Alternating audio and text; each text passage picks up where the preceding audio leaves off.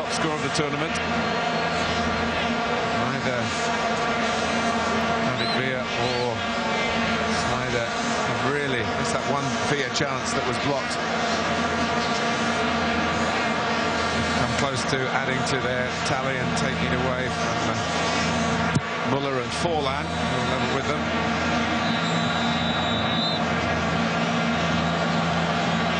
we do go to 15 minutes each way of extra time. Arjen Robben really had the chances, the Netherlands, in the second half.